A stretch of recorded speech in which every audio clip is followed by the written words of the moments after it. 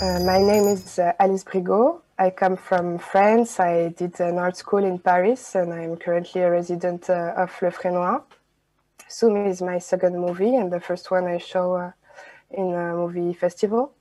Um, Soum is the story of uh, three of my friends that I met in the squat, the squat scene of Paris, of in the Parisian suburbs where I belong to, and it's the story was uh, original, uh, originally inspired by the three relationship they had to to their non-Western heritage and the way it connects to issues uh, of power and to history. And it's a, a movie that's uh, partly documentary, shot in their intimacy and their family, and uh, and also a fiction that we created together where they open uh, a squat and uh, in the building they're occupying uh, began to to unravel their their stories, their visions, and and their performance of ident uh, identity search and spiritual uh, quests. T'as mis plus de verre Il y a des bougies en plus.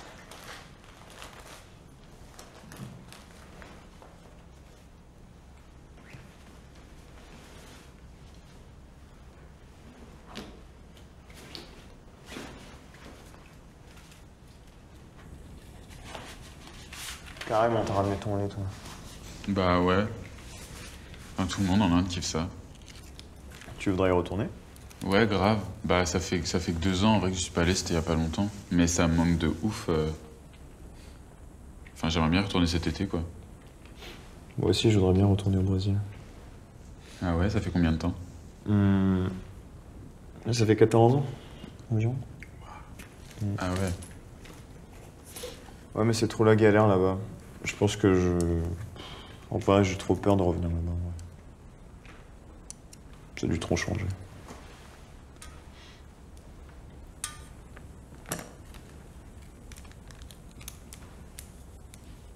Et toi, Pauline? Hein? Le Sénégal, tu retournes quand? Euh, Je sais pas.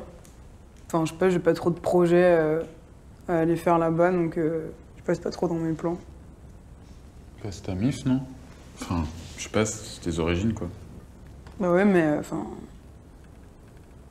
Enfin, j'ai même pas l'impression d'être ici dans cette pièce en ce moment, tu vois, donc ici ou au Sénégal. euh, Bah, je te vois, meuf, hein, donc euh, t'inquiète que t'es là. Hein. Comment ça, t'as pas l'impression d'être là? Je sais pas, je pense que le moi profond, enfin le, le, le, le moi, le vrai moi, il vient pas d'ici, ici, tu vois. Il vient pas du Sénégal non plus, en fait. Enfin, je sais pas, il vient du cloud, il vient d'une dimension parallèle. Puis un jour, il s'est dit euh, Ah bah tiens, je vais aller m'incarner sur Terre de spi. Puis maintenant, bah, je suis coincé ici avec vous. Je pense que c'est prêt.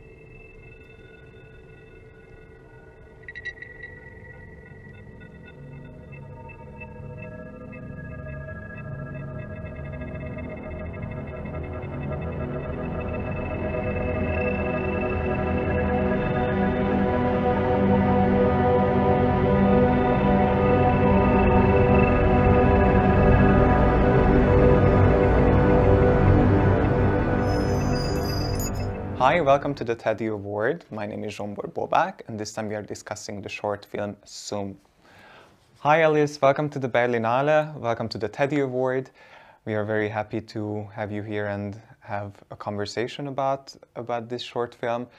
Um, the film takes place uh, within the squatting community. Um, can you talk a bit Yes. about what drawn you to this particular community and why? Um, well, actually, the, the, the three characters of the of the movie are I met them in this uh, squat scene where I belong to. I lived in a squat for for two years in uh, in the Parisian suburbs in Aubervilliers. So I met them like in this uh, in this community. There were like one of them was like uh, he was always coming to the squats where I was living alone. He was there like every time we made events, and he kind of uh, made himself himself a place uh, in this community. And uh, um, the other one came from like other squats where, well, it, like it's neighbor, it's like neighbors, Yeah. and we help each other. So that's how I how I met them. Mm, I see. The film is like moving along um, this mm, thin boundary between documentary and fiction. Uh, can you talk a bit about this concept? Um, well, I think I like, I like. I mean, the the story really comes from the characters. I was not. I didn't want to make a movie about this particular subject before. I really uh, had these stories I wanted to to weave together, and so it it really comes from the character and their life. So uh, I I really like like documentary in a way that's that there's this kind of magical that happens and that you you find out like you have an intuition and then you're going to to to work with uh, with the people to to kind of get uh, what you want from it and what your intu- intuition uh, drove you to and but the, I also really like to to set uh, fiction because it allows also to to like an experience uh, of things you can't get in documentary. And in this case it was uh, also a tool for making appear um, visions and uh, hallucinations and, and games. So it was like uh, the the idea of bringing fiction in it was was double. It was uh, first to to um, be able to represent uh, these uh, kind of magical uh, events that that one can experience, and um, and the other was also that I wanted them to to have this space to represent themselves and to perform their own characters. So they were also implicated in the writing of the of the fiction. I was proposing some situations, and we were we were playing with this uh, with this in between. And it, it's also a way like you can you can film stuff that's it's actually not possible to to film in in documentary. So Yeah.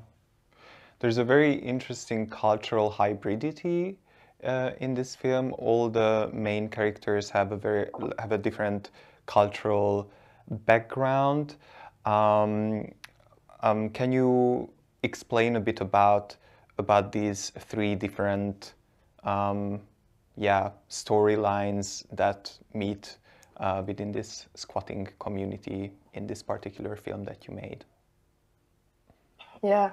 So this this hybridity was actually the the, the basis of of the of the idea of the desire to make uh, this movie. It wasn't like first it wasn't a movie about squats. It was more a movie about about this uh, hybridity, and then the the squat became uh, like this this way they could have a common quest together Yeah. and uh, this way of talking about space and uh, appropriation of, of space and and um, this these notions of belonging and territory that I think were Yeah. interesting to to weave.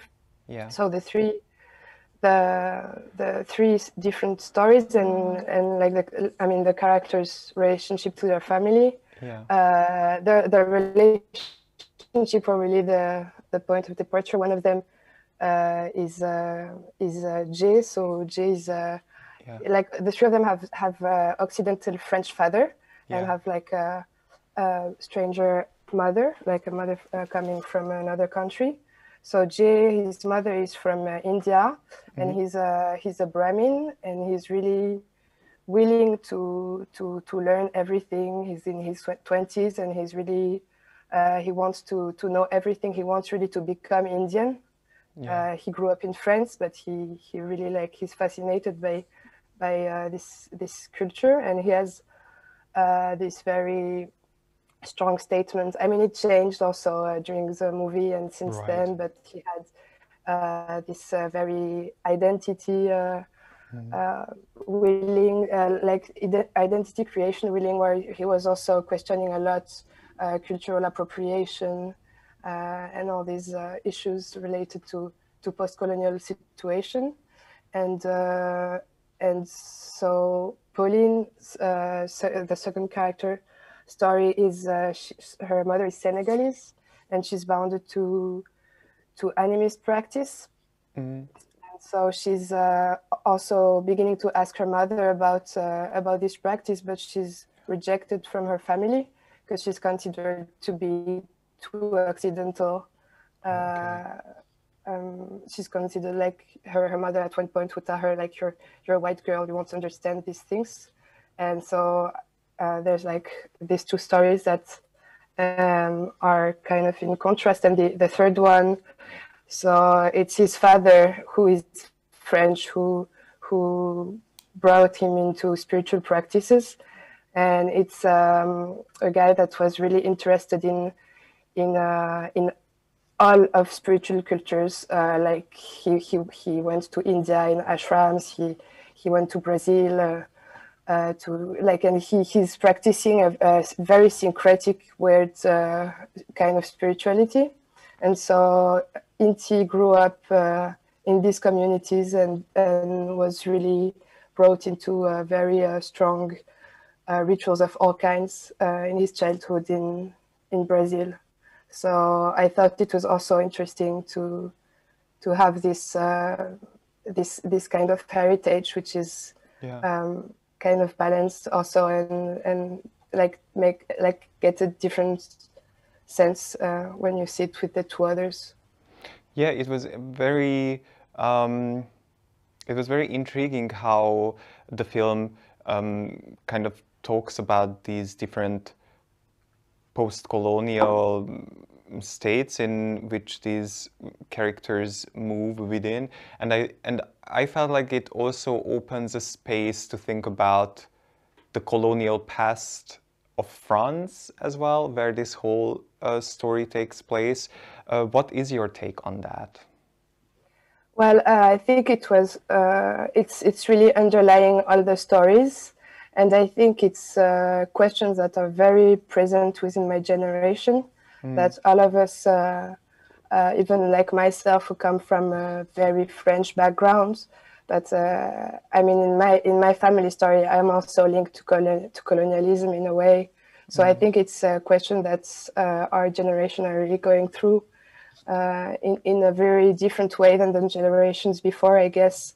And that's why I wanted to film uh, this family relationship where you could see uh, these uh, tensions or like this, this kind of gaps that was uh, um, created between between the two generations. So yeah, I think it's uh, it's something I wanted to to question in that movie uh, in a way that's in a way No. Did we lose Alice? Aye, aye.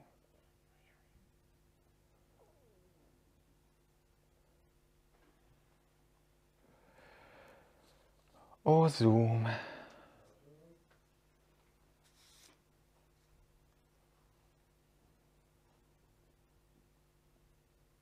or like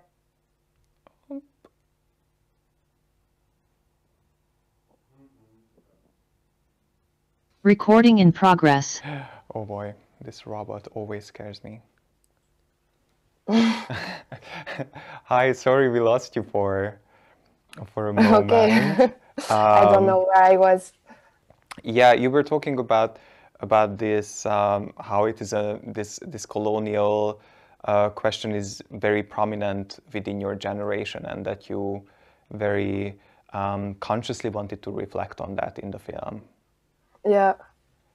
So I, I don't know where it gets. So Yeah, yeah, well, we don't know either. Just if yeah, just let's talk about this topic about Yeah. about how you want how you very consciously wanted to integrate these questions of of the colonial past in the film. Yeah, because I think uh, this question of uh, politics and spirituality are very connected. Yeah. And and so I think it's something we all uh, reflect on. The, I mean, uh, whatever our our past is uh, and our origins are, because even as like white people, we have who are linked to the colonial history, and it's something, mm.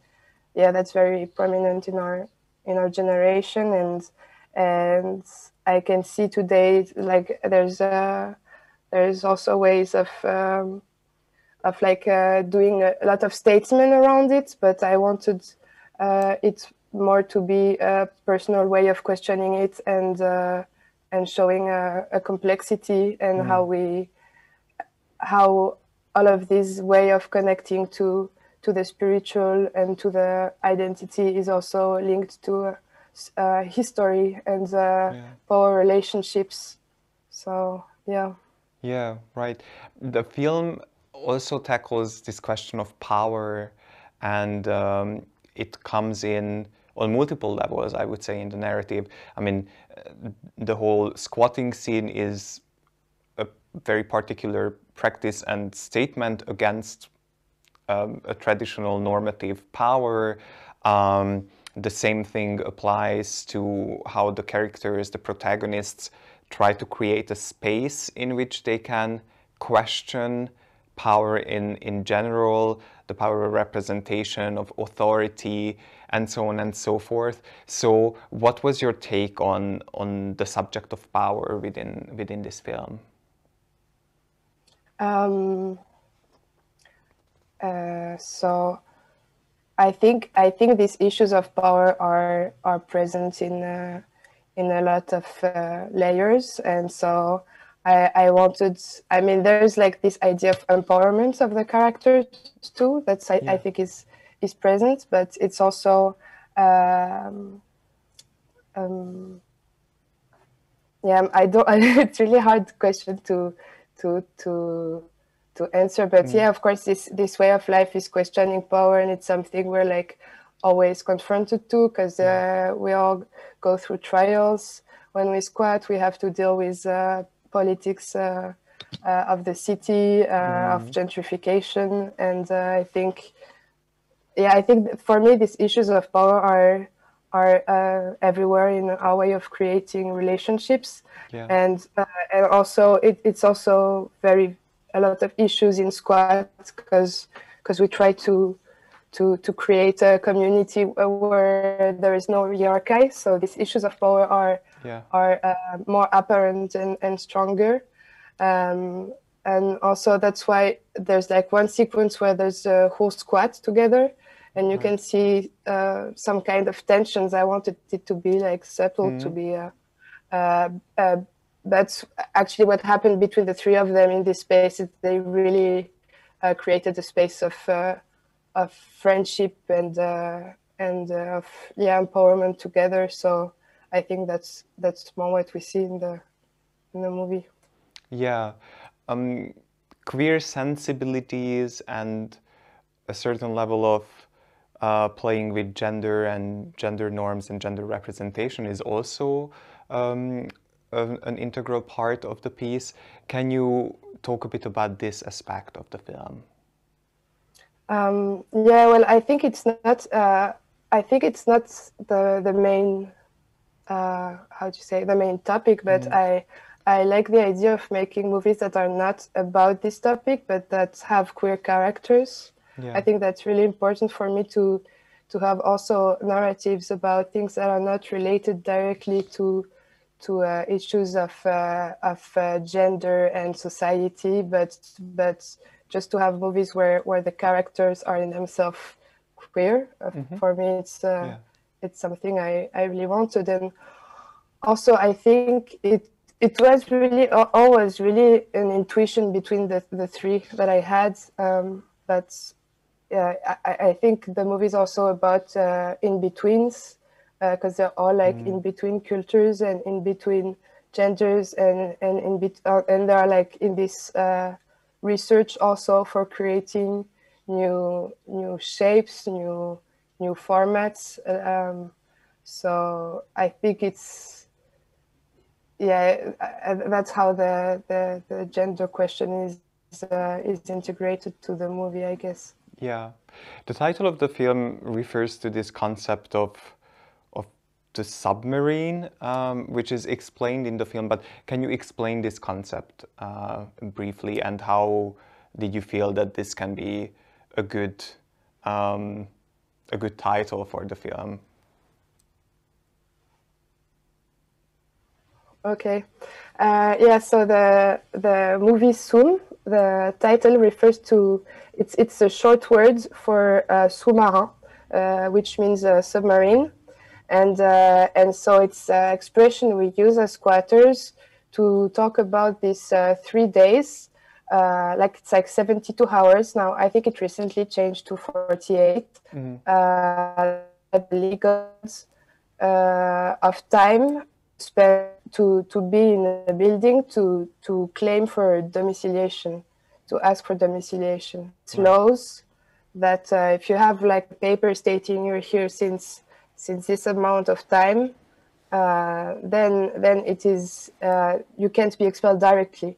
You need for that to to to go through trial and, and through uh, judiciary procedures Yeah. so juridic procedures. So yeah, um, so that's uh, submarine, and and uh, also the word uh, soum in French uh, is is uh, used in expression uh, when we say soum. It's it's like a youth expression to say uh, doing something hidden, doing th- something uh, Mm, out of the sight.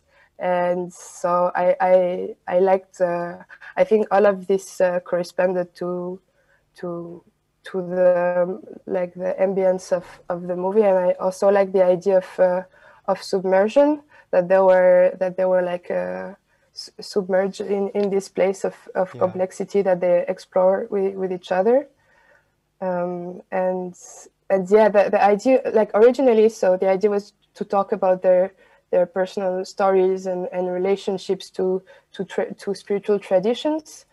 Uh, and we had this idea of having uh, them go through a common quest. And finally uh, it just ended up being the quest uh, we had in real life which is uh, which is uh, opening of, of a building. And and I when actually I, when I did one a few years ago I, I had it's really special moment because it's a moment very suspended in time that you're waiting you're supposed to hide Yeah. you can't really go uh, on the window you can't make noise uh, and and and also you you you you, you need to find occupations with the people you are in Mm. and it's it creates a, a very particular kind of uh, intimacy and also that it's so this moment where you go through the building and it's completely empty or it's like not totally yours but you're so you're beginning to project what you can do in each space Yeah. uh, what it's going to become so i thought it, it was uh, it was perfect to to set this uh, this gathering they had uh, where where it could appear uh, their their fantasies in a way Yeah. Well, Alice, thank you very much for for being Thank here you. with us today, and I wish you all the best for the Berlinale. Thank you. thank you Okie dokie. Then now.